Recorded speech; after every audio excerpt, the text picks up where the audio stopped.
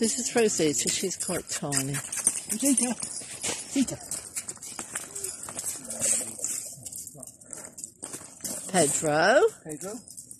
You can perhaps see Rosita's quite a bit smaller. She's a bit more reserved, Rosita, isn't she? She's a bit more calm. Aren't you, darling? She's a good girl, though. Aren't you beautiful? Hey? Those beat you up, don't they? Uh.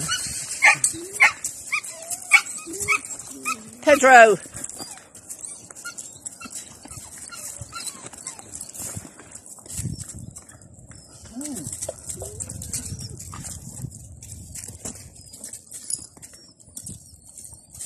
Look, I'm going to put you away.